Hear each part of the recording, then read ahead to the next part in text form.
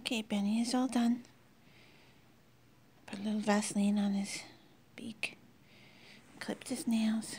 He's good. Good to go. Okay, let's go get your brother. Okay, so I think this is a big fat girl. I let her look outside for a bit and she got upset for a second, but she's okay. It seems like their beaks are dry. So, I mean, sometimes I would put um, palm oil, but in the winter it gets so hard, and uh, if it's not hard, then they get orange oil on each other. Are you okay? Yeah? I'm just gonna trim her nails and put something on her beak. She's kind of unusual. She's a big girl, nice and heavy. She's a heavy girl. The um, cockerels are always light, and the girls are heavier. Isn't that right? Pretty girl. Oh, oh, she's got her mouth open. Well, she, she didn't a minute ago. I just put some, uh, look at her little back end going. Goodness. That's what they do when they're, sometimes when they're going to have an egg. Okay, so I'm going to put you downstairs. She's a pretty girl. Here's a little girl. It's not as heavy as the last one. Look at how pretty her beak is. Can we see your beak? Perfect beak. And she's a little pick on because she's a favorite. Look at her tail. Generally, this might be called um, a rosetta or a Tibetan. People call all kinds of names of the colors for quail, and um, it depends on if you're American or British. But she's got a very pretty color, very nice pattern, and you'll see she's got the brown eyes, and you'll see that um, see if I can get it there. Um, she's got no white patches, right? Oh, that means she's slightly stressed. I just uh, put something on her beak. You okay? Gonna be okay? Oh. so I'm gonna have a look at her, her little toenails. Okay, so we did that real quick. I said thank you for each one. Oh, better get you downstairs. Now this little girl um, she's a little bit pecked at the back because that's how the cockroaches will hang on. And um, they actually don't penetrate. It's just like a foam. But they get like, I'm sure it hurts their neck a little bit when their feathers are pulled out. But anyway, so she's a pretty girl and you can see this pattern. This is an Italian pattern on the back. The rest of her is white. And the true whites apparently have brown eyes, but all the whites I've ever had have blue, even though I bought them from different places. So she has a nice beak. She's got blue-gray eyes. And uh, we'll just see if um, she'll get her nails clipped there. I let Each time I'm letting them look outside because they... When you let, let them look outside and it's so bright out, their uh, the pupils dilate so you can see the real color of their eyes, and they get pretty interested. Um, it's really not good for them to just be looking at a closed-in area all the time. But what can you do in the winter? Okay, she's all done. That was pretty easy. I think I might just uh, soak her nails just for a second. This is Titus. Whoop. Titus. Whoa. I really like Titus a lot. He's he's little. Um, the males are always smaller. Um, I don't know if that's because they are more responsible. They're always looking to make sure everything's okay. While the girls live a footloose and fancy free kind of life. Now Titus has got a couple of feathers pulled out the side, and I have seen it happen. Um, you it will happen when they're mating because they can't defend themselves and then the other ones pull the feather out which is not good. Anyways the coloring he's got again the uh, blue gray eyes the coloring he has is white with Pharaoh markings. And uh, I'm just going to check his um, his toes, toenails. Again, we did that very quickly. I don't really put something down there for them to scratch on. I just um, clip their nails. His beak looks good. Um, they're doing really well. They're they're going on to the sixth month, so they've never had their nails clipped before. Good boy, Titus. Here's another pretty girl. She's not too big though. She's one. I want to just show you this feather before I get a hold of her a little bit better. Um, I took her out from uh, being with Harry. Harry has two girls. I couldn't integrate Harry back in because he was being picked on too much this little girl, I took her to the light and um, the sunlight, and I could see that she has very pretty blue eyes. The unusual thing about this, besides the feather, which is not as silky, it's a normal feather, um, and you can see she's way too um, favored, but look at this. It's like a gray feather. One of them has a pattern, but it's like a gray feather, which is very unusual the way that they grow their feathers back in is it looks like a finger with a little bit of a um, edge of whatever color and then it unfurls. It's really quite amazing. And if they're not picked on, they will grow their feathers back really quickly. Like um, it starts growing right away and um, it doesn't take long, like, I don't know, like 10 days. It's amazing. So I'm going to have um, a look at her nails. Pretty girl.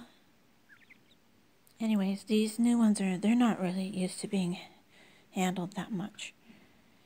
I'm, I'm with them a lot, but I don't handle them too, too much, so it's part of the reason. And then um, I, sometimes you can get them ready for nail clipping. Like it was really easy with her um, by just washing their little feet. Like if it's a little bit dirty, then you can wash them and then they you know how it is if, if suddenly somebody starts touching your feet, it feels kind of ticklish, but if you get your feet washed, then, you know, you feel a little bit better, so it's easier to clip their little nails. Okay, you're going to go back to Harry now. Here's a blue-eyed white with um, the Italian markings. You can see that.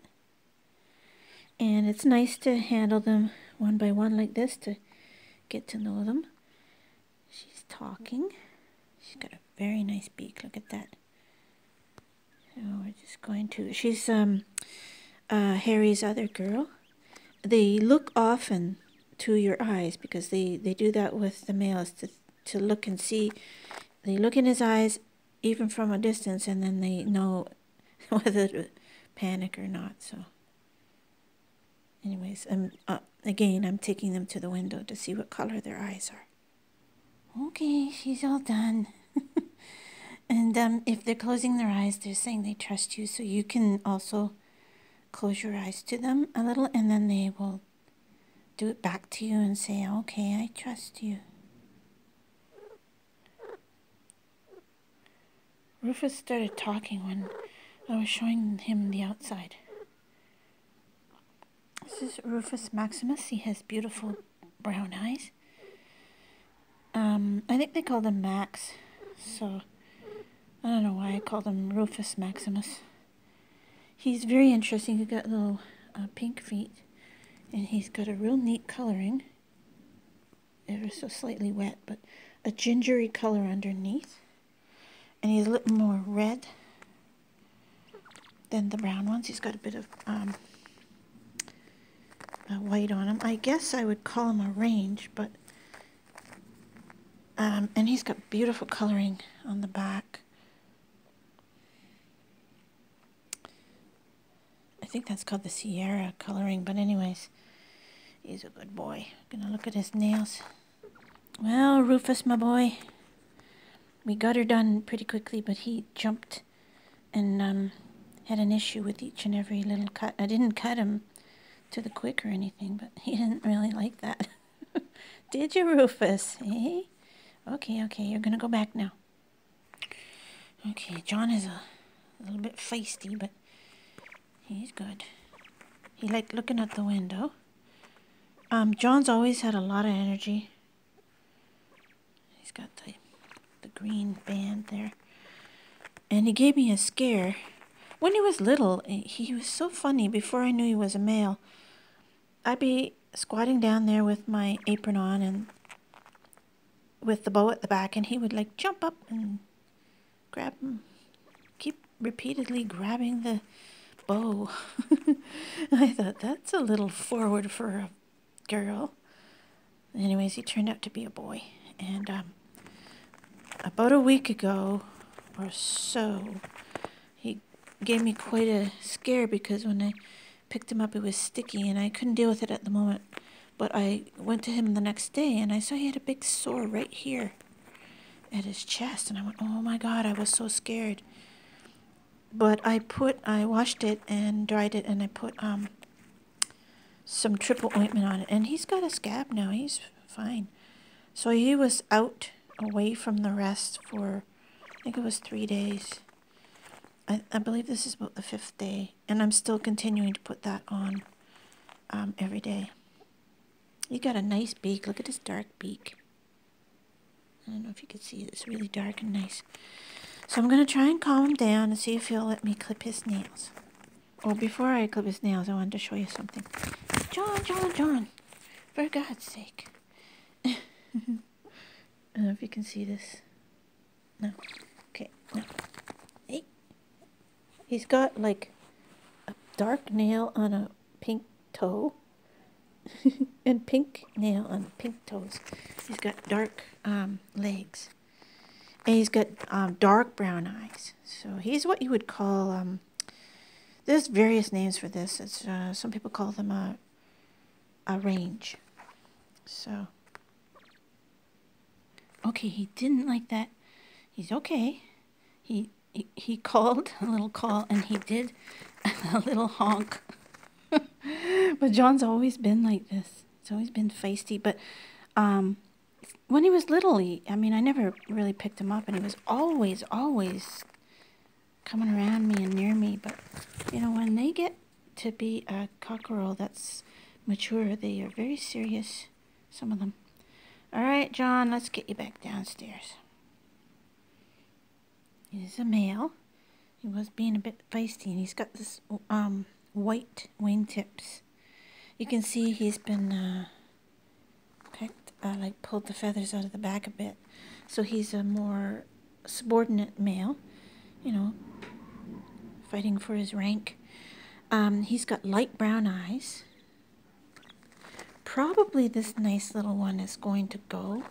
He's got, I picked out three for um, a contact on uh, Kijiji, but she could only take two at the time.